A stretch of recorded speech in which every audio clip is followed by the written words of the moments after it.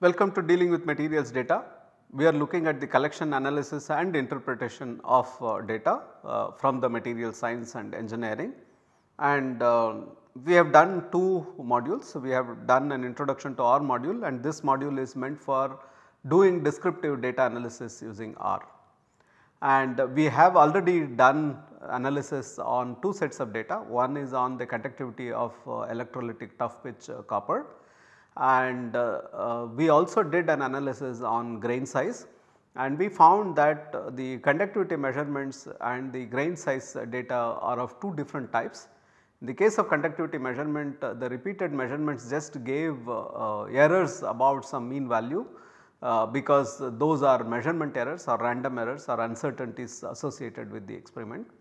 But on the other hand when we measured something like uh, grain size it has naturally a distribution uh, not all grains are of the same size, uh, they follow a distribution and the distribution is not uh, normal or Gaussian or anything like that, it is slightly more complicated. So, uh, it makes sense to represent the data in this case not just with a mean and standard deviation like we did in the case of uh, conductivity, but also by plotting something like a histogram plot uh, to indicate how the data looks like. So, let us now continue uh, with the second data set. It is also a, data set which uh, deals with distributions. And this is the grain size uh, data set 2.csv and uh, this is slightly complicated data set because it contains grain sizes of two phases. And we are going to carry out all the rank based and property based analysis uh, for both these phases and uh, in all the cases we are going to do it um, one next to the other. So, we can have information about grain sizes of these two phases, but we will also have a comparison between the grain sizes of phase 1 and phase 2 uh, in terms of their rank based and property based uh, uh, summaries. So, that is what we are going to do. One of the things that you have to carry from this session is that if you just looked at the grain size uh, like we reported conductivity just by reporting the uh, mean and standard deviation, you will see that the grain size of grains of phase 1 uh, is 24.1 plus or minus 0.4 and grain size of grains of phase 2 is 23.4 plus or minus 2. Um, sometimes uh, students make a mistake of thinking that these two grain sizes are different and uh, uh, grain size of uh, grains of phase 2 is smaller than uh, 1 that is not true because you also have to take into account the fact that there is an uncertainty. When we say 23.4 plus or minus 2 it means that the number could be anywhere between 21.4 to 25.4 and so the 21.4 uh, to 25.4 actually covers 24 also. When we say 24.1 plus or minus uh, 0.4 that means it is 23.7 to 24.5. So, within the error bars uh, all that you can say is that these two phases have the same grain size.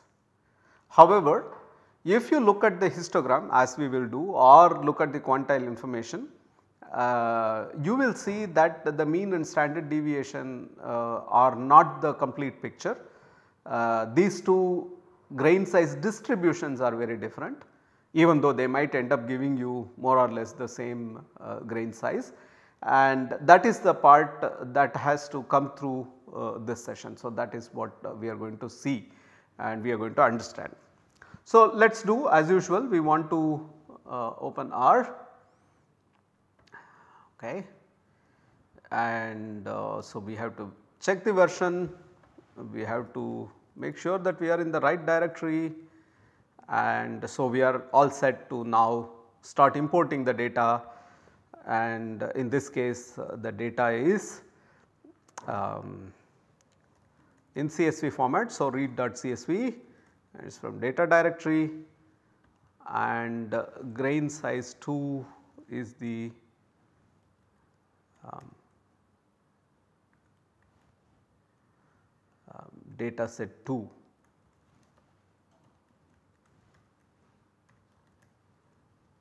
right.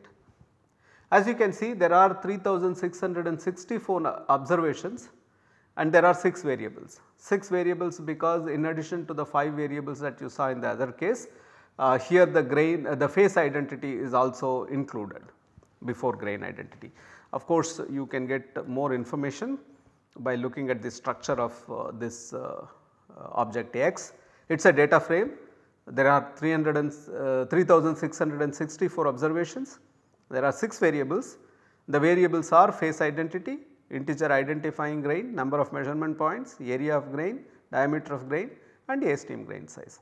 Like we did earlier we are going to be worried only about integers uh, identifying the grain and ASTM grain size uh, of course for the two phases right Phase identity uh, uh is, uh, the, is this is a two phase microstructure. So, there are two phase identities 1 and 2 and we are going to be working with uh, these two right. first thing of course is to plot we can always try plot x. so, it is 6 by 6 uh, so, you should have 36 uh, uh, boxes 3, 4, 5, 6 and 3, 6. So, 36 boxes are there and so against phase identity, against integer identifying grain etc. all the uh, parameters are plotted and so you can see uh, how the data looks. So, this is the first step and this uh, does not distinguish between the, the grain identities so, let us uh, do the plotting of okay. what is this command. So, we want to plot the um, grain identity versus grain size and we want to color them according to the phase identity. So, phase identity 1 should get one color and phase identity 2 should get another color right. So, this is how the plot looks. So, uh, these are the sizes and these are the grain identities. Uh, you can also switch them which is how it was in the original one and you will get this. I am showing this plot because this is uh, closer to what you would see in the case of a dot chart. Uh, but it is very difficult here you know to distinguish between these black points and red points. Uh, however, in dot chart they will be separated. So, dot chart is always a nice way of visualizing the data uh, instead of plain uh, uh scatter plot that you can make. Of course, you can also play with plain scatter plot yourself and come up with commands which will separate these data, but there is an easier way by using the existing libraries right. So, that is what and here it is much clearer. So, there are lots of red points and fewer black points and the block, black points are all clustered here and the red points are spread all over right. So, black points are between 20 and 24 whereas red points are between 12 and uh, 24 and odd. Okay. So, this is an important point. So, we will come back to it. So, let us uh, do the other thing. Let us separate out the data. Okay. So, this tells R that we are going to make two plots right and one on top of another. Okay. And those two plots we are going to plot by using phase 1 phase 2. So, the grep command so is going to get all the line numbers or rows which have data of phase 1 and this grep command is going to get the row numbers of all the data points uh, which has data for phase 2 that is what I1 and I2 do. So, if I plot x I1 6 versus x I1 2, so this will be only data that is corresponding to phase 1 because we have separated that those line numbers and I2 is for those data uh, rows which have data about phase 2. So, that is what this is and of course, we are going to label them as phase 1 and phase 2 and X label is the ASTM grain size, Y label is grain ID. So, let us uh, do this plot and you can see that uh, phase 1 has uh, grain sizes ranging somewhere between uh, 20 and 24 and odd and phase 2 has between 12 and 24. Okay, so this is about 3, this is about 12. The spread is 4 times as much. Like I said we, later we are going to see that both of them are going to give you a grain size which were somewhere which is somewhere about 24. Both are going to show you the same grain size and of course this is going to show more of spread it will show a spread of uh, um, 2 as compared to spread of 0.4 here. So, 5 times. Uh, however, uh, looking at this data now it is very clear that phase 1 and phase 2 grain sizes are completely different in terms of their distribution even though the overall gross properties like um, mean might be the same right. So, that is the point behind making this plot. Like I said you do not have to make all these uh, two plots separately uh, dot chart will do it automatically for us. So, we are going to look at that. Uh, but before uh, we do uh, the dot chart, let us do the stem plots. And again we are going to do two stem plots. First stem plot is for um, uh, identity 1 you can see so, the decimal point is 1 digit to the left of the pipe symbol. So, it is 20.8 and uh, 21.0, 21.2 etc., 21.6 um, and 22.0, 22.0, 22.0. So, so these are the data points and you can see that it has a tail and then it slowly peaks and the peak is here there are 275 uh, data with this 24.2 number and that is why the average falls somewhere about 24.2 because the rest of the numbers are small uh, compared to uh, this value. And the, the, the, the, data goes like this and then it just peaks right. So, it has a long tail on one side, uh, but there is nothing on this side there is no tail at all I mean this is the peak and from the peak on one side you see that the data um, has a tail. Okay. So, we can now do this for 2 a stem plot of course it is much more skewed. So, you see these uh, data points 11, 12, 13 etc. and then you see that there are 52 more data points, 616 more data points 1924 more data points. So, this is also the peak and from there it just goes this way. So, stem and leaf plots are nice to know about the structure of the data how it looks like uh, which will become apparent when we do the histogram plot uh, which we are going to do. Okay. So, before that we are going to do the dot chart. Let us do the dot chart. Uh, so, we had x. Um, notice that okay, so let us do the uh, sorry dot chart. Notice that because we previously said that you have to do these uh, two plots right, uh, two rows of plots, uh, it continues if you want to change it you have to give again give the command to make sure that it starts uh, plotting single. But in this case we want to see the two plots uh, for phase 1 and phase 2. So, let us continue.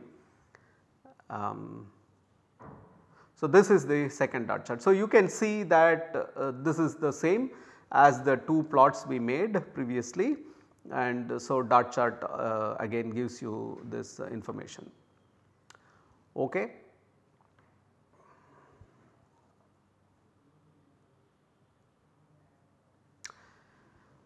Let us make a single dot chart. Okay. So, how do we do? we say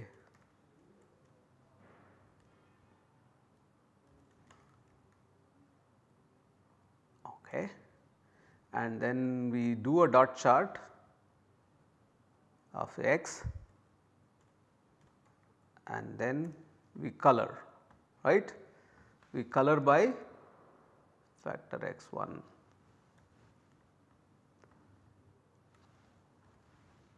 right. So, we are going to say dot chart of the uh, 6th column which is the sizes and color by factor of uh, 1 which means uh, phase 1 and phase 2 should be plotted with different colors right and here is a plot. Now you can see that dot chart automatically separates out the black points from red points. Previously just our scatter plot actually overlapped them, but dot chart automatically separate them out and, and puts them. Okay. So, you do not have to make two different plots just by calling dot chart uh, with factor now you can look at how the data looks like. Okay. So, which is very good uh, which is a nice way of looking at uh, data. Uh, let us now move to uh, the rank based properties. Okay. So, we will do the cumulative distribution uh, function of course. Uh, so, you can say ECDF uh, plot dot ECDF of x 6 Okay, so, this is the cumulative distribution function. And, and you can see it just goes like that uh, because we know that there is a peak somewhere here and it has a tail right? And this is true for 2 also right. Also, but it is a much longer and fatter tail as compared to the other one right. So, if you actually do this uh, um, uh, two rows then you will immediately see uh, because see both of them go from 0 to 1 and in this case uh, you have so both are skewed both have long tails and the tail is only on one side that is what I mean by skew. Uh, but, uh, but the tail is uh, much longer here and because they are on the same scale you can also see that this tail is much fatter than this right. So, so this information about the skewedness and how much information is there in the tail both peak at this value somewhere around this value is where they peak okay. Uh, but, uh, but their tails have different uh, distributions uh, different characteristics okay. So, so let us go back to uh, single plot. Um, Okay. So, so we have looked at the empirical cumulative distribution function and uh, we will do um, okay. So, can we do that using ggplot? Okay, let us do that also.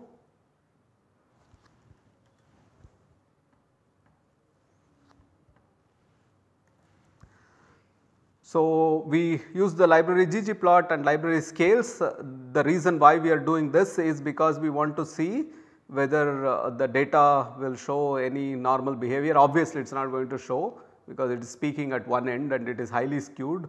Normal distribution should have nice uh, symmetric tails on either side uh, which is not the case. So, we are obviously not expecting. But if you see some kind of this kind of skew uh, what kind of uh, plots do you get right uh, for the probability scale. Okay. So, let us take a look at it. Let us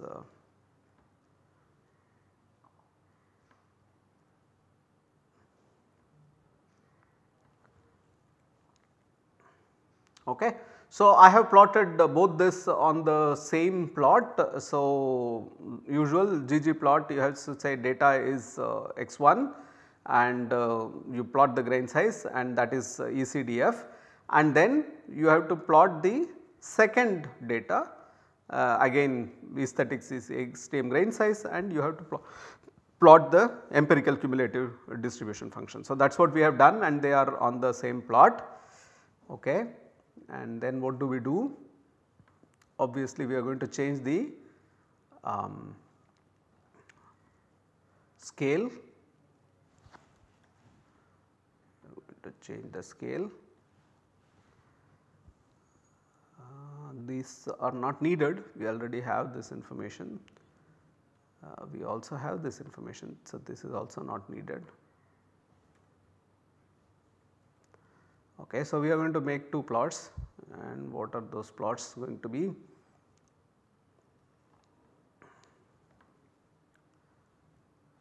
We are going to